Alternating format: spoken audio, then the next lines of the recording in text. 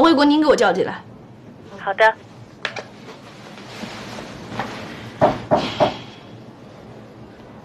进来。你找我啊？明知故问。我那还好多事儿呢。干嘛呀你？今天一整天都神神秘秘的。我怎么神秘了？拿着电话干嘛？给小妖精发短信呢吧？都是工作上的事儿。电话给我看看。你要电话干什么呀？我说了，让你把电话给我看看。你能不能尊重我一下？这是我的隐私。哈，什么时候咱俩之间也开始谈隐私了？啊？来，把电话给我看看。不是，你要没什么事，我先走了。说了，让你把电话给我看看。不是，你别无理取闹，好不好？我有吗？人家只是说了要看看电话吗？你觉得这样有意思吗？有，特有意思。我还告诉你了，今儿你要是不把电话给我看，就甭想出我这道门。不是，咱们好好的，不闹，行吗？你才应该好好的。我告诉你，什么事儿你给我放在桌面上说。可是没什么事儿呀。把电话给我。不不，我不给。给我不给！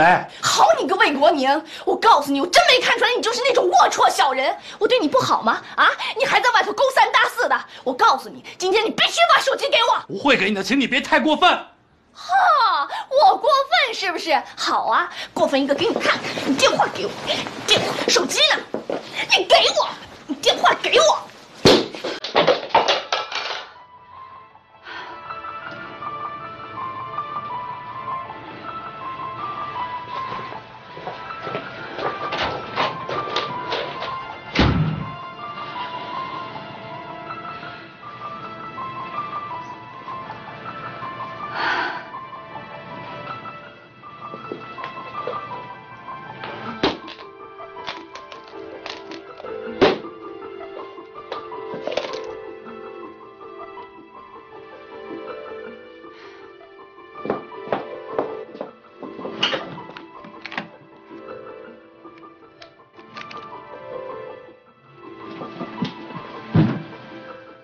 喂，电信公司吗？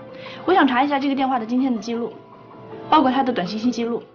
对的，用户名叫魏国宁，身份证号码是三幺零幺零六一九八零七三幺二幺幺零零幺。